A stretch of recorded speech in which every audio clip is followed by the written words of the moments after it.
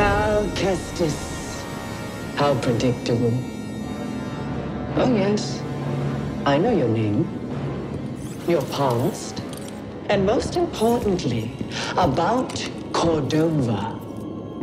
Tell me, where did he hide the holocron?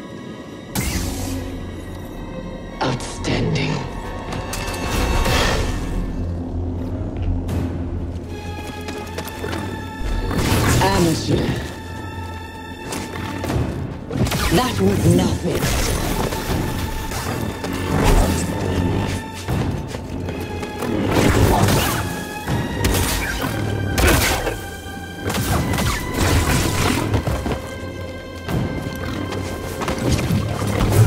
Very well.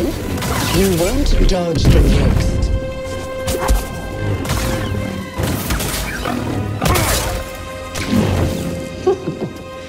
Pitiful.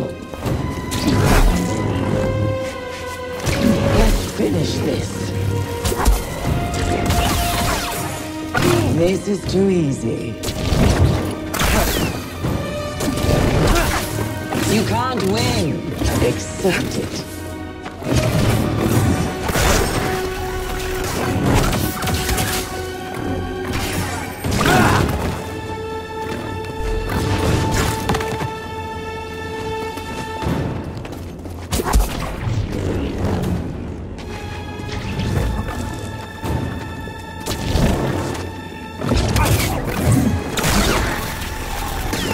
That was nothing.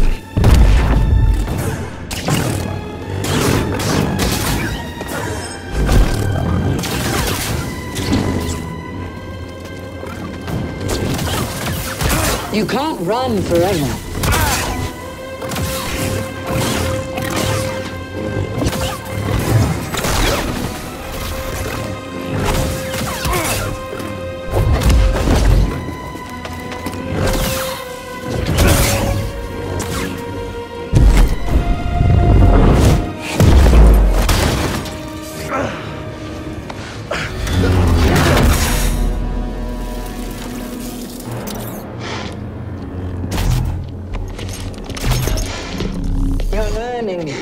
Not quite as gifted as Cere's last apprentice, but not bad. You've been keeping count. I'm surprised she didn't tell you. Cere was never good at keeping secrets. And you know her so well, huh? Mm.